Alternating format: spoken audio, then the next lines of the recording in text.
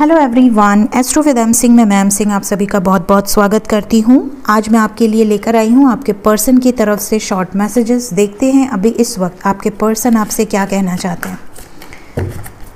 अभी इस वक्त आपके पर्सन आपको क्या मैसेज देना चाहते हैं या देना चाहती हैं। वी हैव टू कार्ड्स अभी इस वक्त आपके पर्सन आपको क्या मैसेज देना चाहते हैं? प्लीज़ गाइड करें। जिसको भी सोच कर आप ये रीडिंग देख रहे हैं, वो पर्सन अभी इस वक्त आपसे क्या कहना चाहते हैं? बॉटम ऑफ़ द डेक है थ्री ऑफ़ वॉन्ट्स इंतज़ार। इंतज़ार कर रहे हैं आपके person princess of coins ten of swords ace of wands ten of cups and we have knight of coins okay तो आपके पर्सन किस चीज़ का इंतज़ार कर रहे हैं? Very colourful cards green red yellow blue so यहाँ पर जो एनर्जी है, उसके अकॉर्डिंग आपके पर्सन की ओवरऑल एनर्जी है वेटिंग आपके पर्सन वेट कर रहे हैं किस चीज़ का? आपकी तरफ़ लौट कर आने का.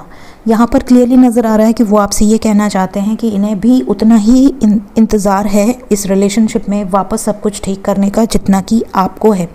अगर आपको ऐसा लगता है कि ये आपसे दूर हैं और बहुत ज़्यादा खुश हैं तो ऐसा बिल्कुल नहीं है। ये बिल्कुल भी खुश नहीं रहते आपसे दूर होके। इन्हें बहुत तकलीफ़ होती है, भले ही आपको शो ना करें।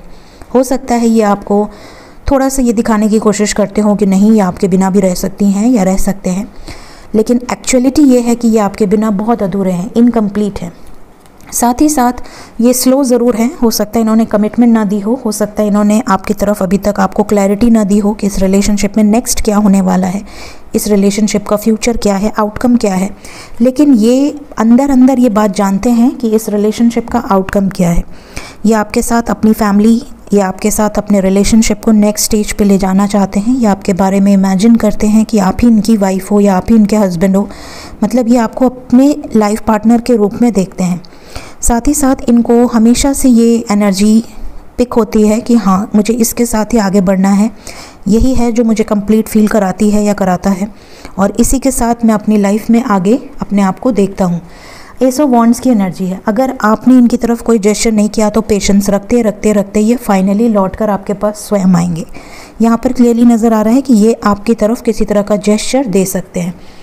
Most probably princess of coins की एनर्जी है तो अभी ये इंतज़ार कर रहे हैं, लेकिन बहुत जल्द इनकी तरफ़ से कोई गिफ्ट कोई जेस्चर आपको रिसीव होगा। ये आपको स्पाई भी बहुत ज़्यादा कर रहे हैं, ये आपको मिस भी बहुत ज़्यादा कर रहे हैं।